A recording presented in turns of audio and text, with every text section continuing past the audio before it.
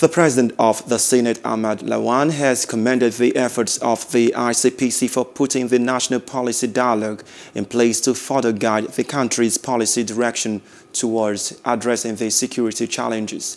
Lawan, who declared the national dialogue on corruption and insecurity upon the Federal Capital Territory, stated that it will summarily deal with the ugliness of insecurity in the country. He said that the Ninth Assembly, in collaboration with security and law enforcement agencies, passed three bills aimed at combating money laundering, terrorism financing, and the proceeds of crime.